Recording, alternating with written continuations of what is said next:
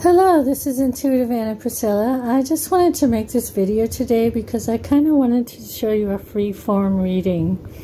Um, often we see these neat little rows and neat little um, arrangements of cards, but I wanted to show you a process that I followed today. I had a decision to make between two different alternatives. So the first alternative were these cards here, and then the second was this row and these cards and charms here. So what I did was, first of all, I started with my tea cards, and I thought, oh, I'll just pull some Lenormands, got those. Then, oh, let's see what Tarot has to say. So I added as I went. I didn't just sort of make a nice little um, plan. I then thought, oh, I'll pull a few charms. So I pulled a few charms. And I did the same process down here with my tea cards, my Lenormand, and then my tarot and you can see that here I wanted a little more clarification so I added another card here. Here I wanted to understand that devil card so I added two more cards here. So it's just a dynamic unfolding process. I also added some charms added asked different questions. So I just wanted to show you this because I think we often have this idea of this static process. This really was a grow an organic growth. I started basically with these two sets of cards for this. This would be one alternative. This would be the other. Of course, I did some layering here and clarifying here. So um, don't be stuck in sort of a, a model about how your reading should be, your look. Just pull out cards, add whatever you need to add to get the answers that you're looking for. Um, you can keep delving until you get a little bit more understanding. So this was a trip that I was deciding whether to go today or next week.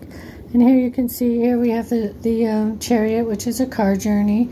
But then we got the um, devil and then the, the king of pentacles. So I wanted to understand what the devil meant. And then pulled a queen of wands and a nine of cups. Um, and so this was a situation between my husband and I deciding whether to go today or next week. So I was all for going next week, overcoming some of our fears and misgivings about this week, and that it would be more satisfying for him to get the results he wants next week. So you can see um, it's an organic, living, breathing thing, a reading.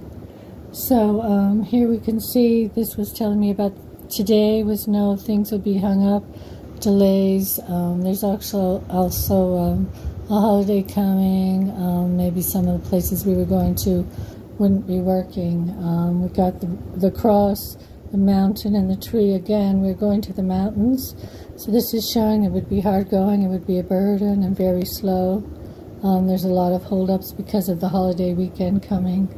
So it's just kind of fun to, uh, we're looking, going to get some information. You can see here, be more illuminating next week. Um, maybe have a little bit problem getting to the to what we wanted, but eventually we'd get the um, information we needed.